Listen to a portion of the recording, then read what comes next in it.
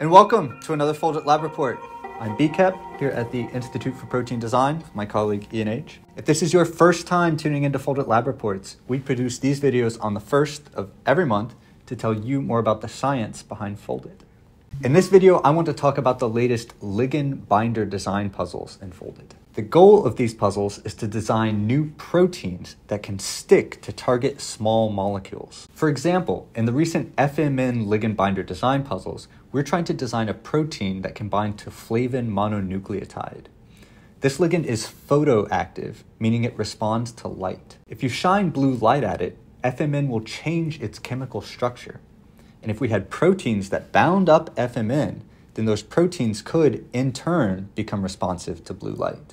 In the future, this might mean we could make proteins whose functions could be turned on and off with the flick of a light switch.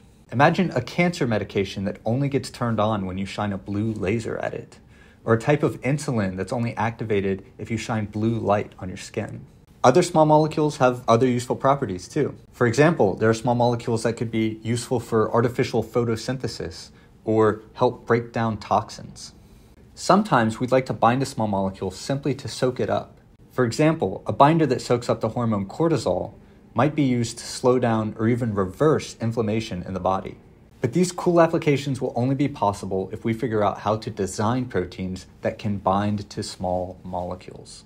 But binding a small molecule is not easy, and it's a lot different than binding a protein target. In order for a protein to bind a small molecule, it must contain a natural pocket. This is just a cavity that something can nestle into. Normally, when we think about protein folding, we think about a protein collapsing into a compact ball. This happens because of something called the hydrophobic effect. By folding from an extended shape into a compact shape, this minimizes the amount of surface area that has to interact with the surrounding water. However, a protein pocket does just the opposite, and it opens up a lot of new surface area that has to interact with a solvent. In general, having a pocket will make a protein less stable. So one of the challenges in designing a protein with a pocket is finding a solution that is stable enough to support the pocket. We don't want that pocket to collapse. AlphaFold is a great tool to have for this. If AlphaFold predicts your protein to fold into a shape that has a pocket, that's already a huge accomplishment. It suggests that your pocket is stable. But simply having a pocket is not enough to bind a small molecule. The pocket also needs to be complementary to the target. The small molecule should fit in the pocket like a hand in a glove. And any polar atoms on the ligand will need to pair with hydrogen bonding partners on the protein. These hydrogen bonds are important for specificity.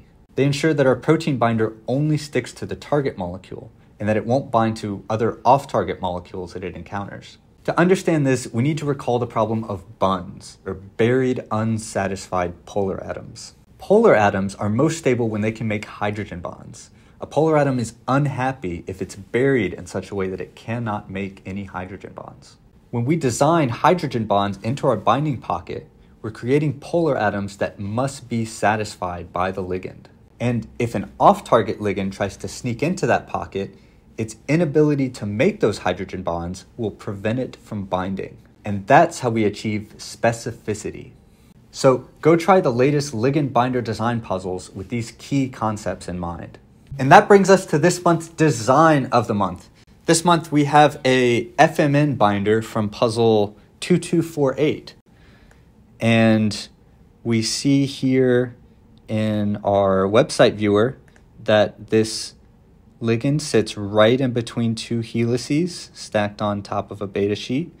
Um, and it looks like it fits nicely into a little pocket here, but a lot of the ligand is sticking out into solvent. So let's go look at this and Foldit. Uh, I like to view all of the designs with the protein design default view option so I can see all the polar atoms and hydrogen bonds. Um, now this is a nice mixed alpha beta fold. So we have a, a nice beta sheet here with two helices stacked on one face of it. And our ligand fits down nice right between these two helices. Um, and the first thing I notice is that um, a lot of this ligand is sticking out into solvent, but that doesn't terribly concern me here because these is the this is the polar end of the ligand. You see lots of oxygens and nitrogens on this side of the ligand. These are polar atoms that like to make hydrogen bonds with water. Whereas the other side of the ligand has lots of carbons that are hydrophobic, and these like to be buried. Um, so BlazeGeek has done an excellent job of burying the hydrophobic side of the FMN molecule and exposing the polar side to solvent.